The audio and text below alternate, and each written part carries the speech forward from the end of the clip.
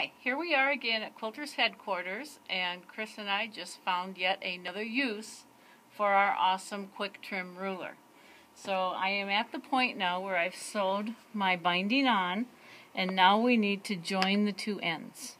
So this is part of a takeoff that you can see on our website as well, where Jean a few years ago figured this out, which is pretty ingenious. So we take a piece of our binding and lay it just perpendicular on the quilt here. We draw a line here. Don't know if you can see it or not, but we draw a line there.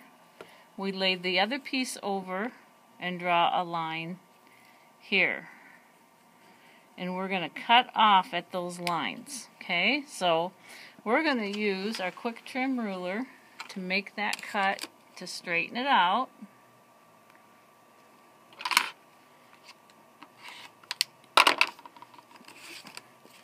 And then here too, where we did our line, right there. And just, of course, you all you quilters know how to do this, but just find a line there and cut it straight. I know this is scary.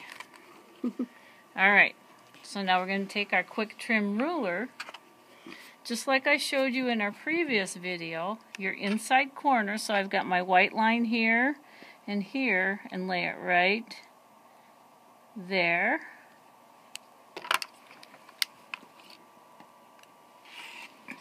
Trim that. And then, this one gets a little trickier because i got to turn it this way for us to be able to see it and be right-handed, kind of. So I'm again laying this one this way. And I'm going to cut. Do as I say, not as I do as far as safety. Ah. Okay, I'm just having trouble cutting backwards. Don't do this at home. You all know me better. Okay? Now, we don't have to draw any lines. We're just going to sew this baby together. So I'll bring it over to my sewing machine. Get my junk out of the way. Just like you normally would. Lining it up.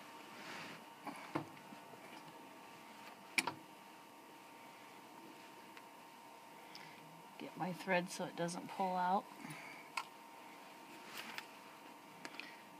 Hang in there with me. I'm going to get this done.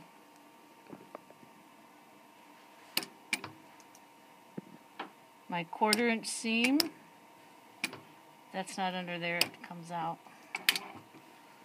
Straighten it out.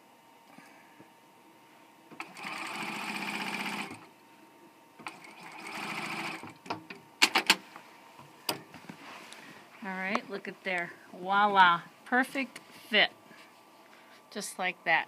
Thanks for visiting us at quiltersheadquarters.com.